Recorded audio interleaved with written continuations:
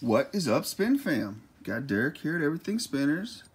Got some M&Ms. Got some bearings. Got a vape. Got, oh boy, what is this? We'll remove that. That's bad. That is a no-no.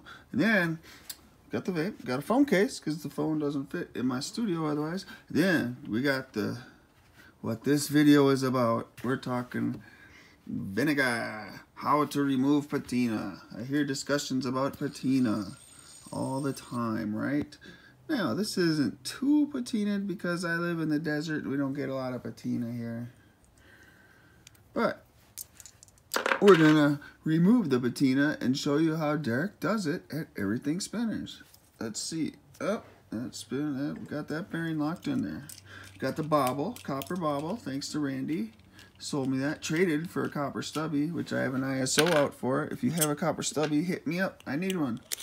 I've traded two of them. I had one. I traded one for the bobble and another for this.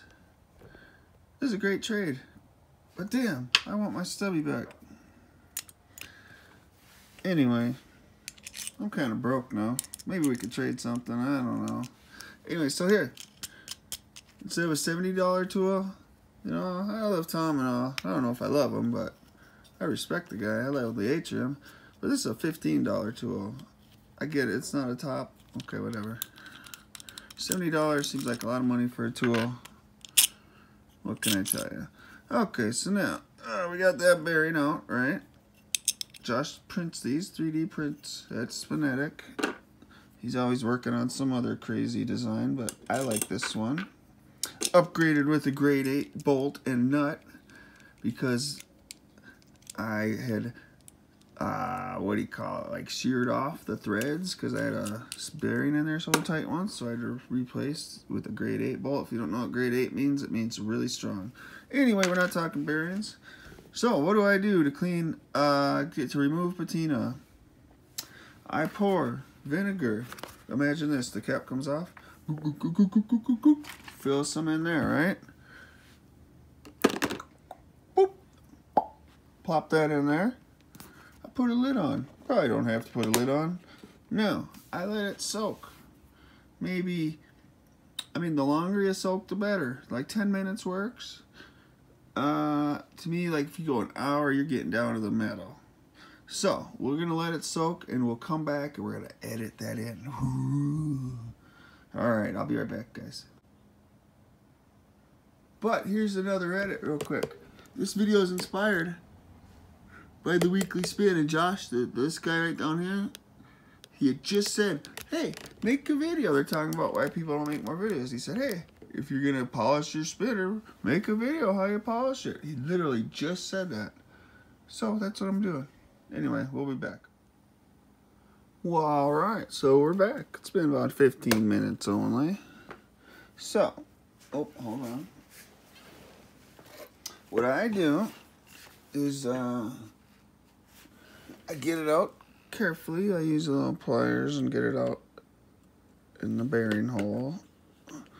But if you don't mind touching vinegar, get it out. Look at that. It's already shinier. Dry it off. This is a microfiber towel. Not the cleanest, but um, no matter what, you're going to get your micro scratches if it's polished. What can I tell you? But this works on patina. This works on any kind. So then, to get your extra shine, what I do is I have a microfiber towel, and it's kind of infused, just because I use it a lot, with the Mother's Polish. Mag and aluminum polish. There's no shine like Mom's. Anyway, so you can see how it's kind of got the white in there. So I don't really put any more on there usually.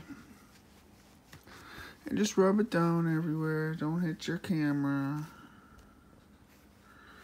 Yeah, let's put the cover on the vinegar in case we hit that. That would stink. But you rub it down.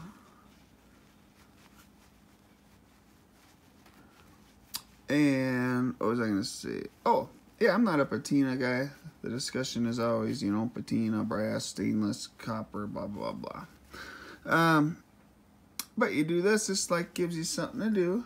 To me, I'm always like, you know, I love to mess with my spinners because I love my spinners. Look at how beautiful that looks, right? Um, so you do this every once in a while, and your spinners look like new. That looks great to me. Shiny, ooh, like a diamond in a goat's ass. Hey. Name that show, the guy who says that. Get you some of that. Ooh, that's a shiny bobble now. And look at the buttons. See, we didn't do the buttons. I'd say they're a little duller. I don't get a lot of patina where I live. Is that a big nasty scratch? No. Eh, a little something. No, it's okay. Anyway, thanks to Josh. I made that video. Uh, once again, Derek, Everything Spinners, Okwa Tanzanwa. Peace out. Go shine up your copper spinners, would you? Look at all the micro scratches. But like I say, works great with uh, whatever finish you got. Your brush, your you know, whatever you got. It works. You're brushed, you're blasted, you're tumbled, you're polished. Okay? And whatever else you can think of. Alright guys, have a good day.